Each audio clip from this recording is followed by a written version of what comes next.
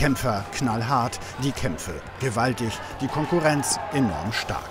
Ümit Demir aus Rheinfeld im Endkampf gegen Budokan Bochum aus Nordrhein-Westfalen. Der 34-Jährige ist gerade frisch gebackener Landesmeister und einer der besten Kämpfer der Republik. Austeilen kann er verdammt gut, aber hier in diesem Drei-Minuten-Kampf in Neumünster muss er einstecken. Der Punkt geht klar nach Bochum. Ich habe mir natürlich größere Ziele gesteckt. Das tut man immer, wenn man in den Wettkampf geht. Man geht mit dem Ziel zu gewinnen dahin. Ähm, wobei ich sagen muss, also ich bin nicht enttäuscht. Das sind alles starke Jungs, wie gesagt, sind alle um die zehn Jahre jünger wie ich. Und ich bin einfach äh, in einer gewissen Weise stolz auf mich, dass ich noch so fit bin.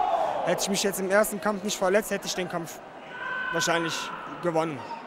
Die übrigen Teamkameraden von Ümit geben kräftig Gas. Am Ende geht die deutsche Meisterschaft im Mannschaftskampf dann doch nach Schleswig-Holstein. Für den Ausrichter ist das ein wichtiges Signal, denn es wird schon auf Olympia 2020 hintrainiert. Es ist ja die erste olympische deutsche Meisterschaft. Im letzten Jahr August äh, haben wir ja endlich diese Anerkennung bekommen in Rio. Und das ist natürlich für uns eine besondere Ehre, diese erste olympische Meisterschaft hier ausrichten zu dürfen.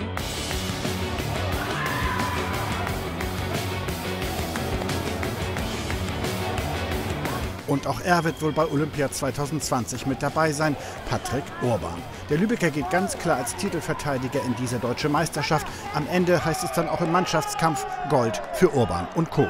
Natürlich ist man da ein bisschen den Tränen nah. Familie ist da, Freunde sind da. Ähm, natürlich hat das so einen Heimspielcharakter, aber umso mehr ist man dann ein bisschen aufgeregt. Natürlich auch als Titelverteidiger Wer hätte denn auch gedacht, dass unter den 500 Besten der besten Karatekas in Deutschland die Kämpfer aus Schleswig-Holstein zu finden sind? Keine Frage, im nächsten Jahr steht erstmal die europäische Meisterschaft an, aber das eigentliche Ziel ist? Ja, natürlich Olympia, aber das ist noch ein weiter Weg. Ähm, es heißt Punkte zu sammeln in der Qualifikation und ich denke mal, ähm, ich bin auf einem guten Weg.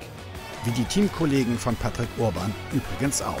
Bleibt nur zu hoffen, dass sich die Anzahl der Verletzungen bei dieser harten Kampfsportart weiter in Grenzen hält.